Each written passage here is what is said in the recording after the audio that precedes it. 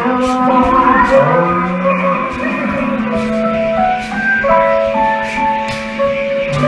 you just quite a day, huh? You've got me so weird about it.